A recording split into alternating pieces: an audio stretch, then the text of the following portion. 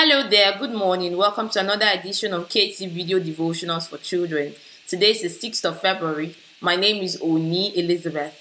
Our topic for today is How God Keeps My Children Safe. Proverbs 14, verse 26, ESV translation. In the fear of the Lord, one has strong confidence, and his children will have a refuge. Our children should always be aware that it is very important to fear the Lord, that is, they must live each day honoring and pleasing God in all they do.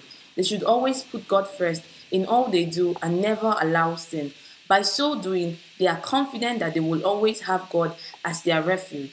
Declare this My children are kept in perfect peace because the Lord is their refuge. Prayer My children are kept safe in the arms of Jesus. We'd like you to partner with us in Kisses and Huggs Club uh, to do so, kindly use the banking information you see on the screen.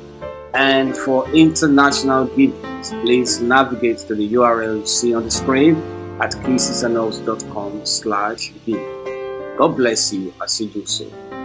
This devotional is taken from our books for single married, and these books are available on Amazon and Okada Books.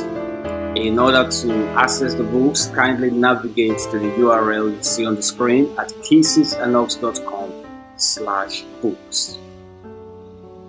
If you live in the city of Ibadan, we'd like you to watch with us at Shouts of Grace Center.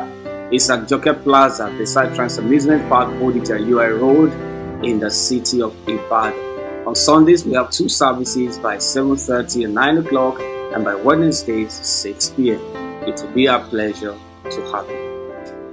Kindly follow us on Kisses and Huggs Club at kissesandhuggs.com. You'll have a lot of resources for your soul.